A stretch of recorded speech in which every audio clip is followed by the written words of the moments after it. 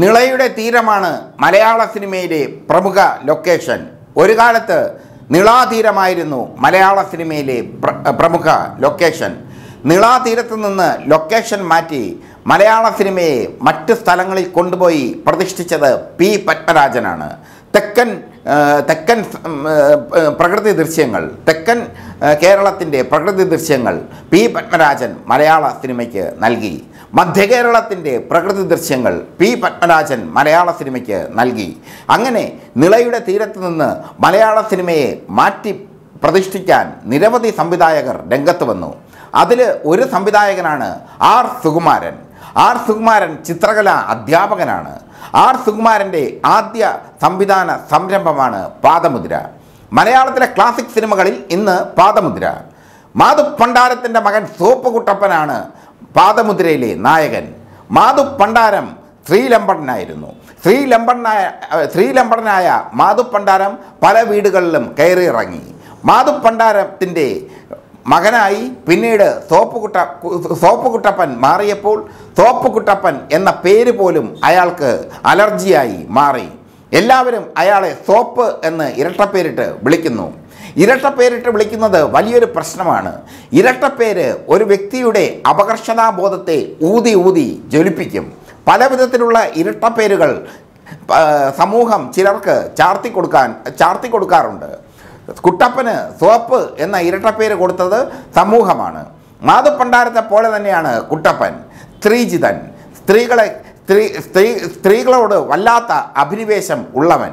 പക്ഷേ അവന്റെ മനസ്സിന്റെ ഉള്ളിന്റെ ഉള്ളിൽ ഒരു പ്രണയവും ഒരു വിരഹവും ഒക്കെയുണ്ട്. പക്ഷേ സമൂഹം അവനെ കാണുന്നത് മാധുപ്പണ്ടാരത്തിന്റെ മകനായിട്ടാണ്. മാധുപ്പണ്ടാരത്തിന്റെ മകൻ സോപ്പുകുട്ടപ്പൻ കയറുന്ന വീടുകൾ സ്ത്രീ വീടുകളിലെ സ്ത്രീകൾ നശിക്കപ്പെടും. ഇതാണ് സമൂഹത്തിന്റെ വിശ്വാസം. ഈ വിശ്വാസം തോപ്പുകുട്ട തോപ്പുകുട്ടപ്പനെ വല്ലാത്തൊരു മാനസികാവസ്ഥയിൽ എത്തിക്കുന്നു. അയാൾ തന്റെ മനസ്സിൽ അയാളുടെ തന്റെ മനസ്സിന്റെ നിയന്ത്രണം അയാൾക്ക് നഷ്ടപ്പെടുന്നു. നഷ്ടപ്പെട്ട മനസ്സിന്റെ നിയന്ത്രണവുമായി തോപ്പുകുട്ടപ്പൻ അലഞ്ഞ് തിരിഞ്ഞ് നടക്കുന്നു. ഇതാണ് പാദമുദ്രയുടെ പ്രമേയം. പാദമുദ്രയിൽ ഒരൊറ്റ കഥാപാത്രത്തെ കേന്ദ്രീകരിച്ചുകൊണ്ടാണ് കഥ പോകുന്നത്. മാധുപ്പണ്ടാരത്തിന്റെ മകൻ സോപ്പുകുട്ടപ്പൻ. സോപ്പ് സോപ്പ് എന്ന ഇരട്ടപ്പേരിൽ അസ്വസ്ഥനാകുന്ന സോപ്പുകുട്ടപ്പൻ. സോപ്പെന്ന് കുട്ടികൾ കളിയാക്കി വിളിക്കുമ്പോൾ വളരെ വളരെ അസ്വസ്ഥനായി വിഷമിക്കുന്ന സോപ്പുകുട്ടപ്പൻ. ഒടുവിൽ ഭ്രാന്തമായ ഒരു തലത്തിൽ എത്തുന്ന സോപ്പുകുട്ടപ്പൻ. തോപ്പുകുട്ടപ്പനായും മാതുപ്പണ്ടാരമായും വേഷമിട്ടത് മോഹൻലാലാണ്. മോഹൻലാലിന്റെ അഭിനയ ജീവിതത്തിലെ വ്യത്യസ്തമായ കഥാപാത്രം. ശരീരഭാഷയും സംഭാഷണ ശൈലിയും ഒക്കെ ഈ കഥാപാത്രത്തിന് ആവശ്യമാണ്. ശരീരഭാഷയും സംഭാഷണ ശൈലിയും ഒക്കെ മോഹൻലാൽ നന്നായി പഠിച്ച് അഭിനയിച്ചു ഈ ചിത്രത്തിൽ. ഓച്ചിറയാണ് ഈ ചിത്രത്തിന്റെ പശ്ചാത്തലം. കേരളത്തിലെ ഓച്ചിറ എന്ന സ്ഥലം. കാളകളെ കാള കാളകൾക്ക് ദൈവിക പരിവേഷം ലഭിക്കുന്ന സ്ഥലം. ഈ ഓച്ചിറയിൽ ഓച്ചിറയെ ഭൂമിക ഭൂമികയാക്കിക്കൊണ്ടാണ് സുകുമാരൻ പാദമുദ്ര ഒരുക്കിയത്. മോഹൻലാൽ എന്ന നടന്റെ അസാധ്യമായ അഭ- അഭിനയ പ്രാവീണ്യം അനിതര സാധാരണമായ ഡയലോഗ് പ്രസന്റേഷൻ ഒക്കെ പാദമുദ്രയിൽ കാണാം. തോപ്പുകുട്ടപ്പൻ നമ്മുടെ സമൂഹത്തിലുണ്ട്.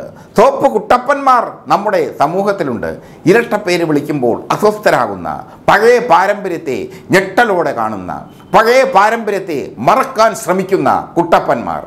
ആ കുട്ടപ്പന്മാരുടെ കഥയാണ് പാദമുദ്ര. പാദമുദ്രയിലൂടെ സുകുമാരൻ താൻ മികച്ച സംവിധായകനാണെന്ന് തെളിയിച്ചു. പിന്നീട് മോഹൻലാലിനെ വെച്ച് രാജശില്പി എന്ന ക്ലാസിക് ചിത്രം സുകുമാരൻ ഒരുക്കി. എന്തുകൊണ്ടോ സുകുമാരന് കൂടുതൽ അവസരങ്ങൾ മലയാള സിനിമയിൽ ലഭിച്ചില്ല. അതിന് കാരണം സുകുമാരന്റെ അന്തർമുഖത്വം തന്നെയാണ്. അവസരം ചോദിക്കുന്നതിൽ ഉള്ള ജാള്യത. അവസരം ചോദിച്ച് ചെല്ലാൻ അദ്ദേഹത്തിന്റെ അന്തസ് അദ്ദേഹത്തെ അനുവദിച്ചില്ല. ചിത്രകലാ അധ്യാപകനായ സുകുമാരൻ മലയാള സിനിമ സിനിമയെ സിനിമയുടെ ലോകത്തേക്ക് ഇറങ്ങിയപ്പോൾ മികച്ച ചിത്രങ്ങൾ സംവിധാനം സംഭാവന ചെയ്തു. ആ മികച്ച ചിത്രങ്ങളിൽ ഒന്നാണ് പാദമുദ്ര മറ്റൊന്ന് രാജശില്പി.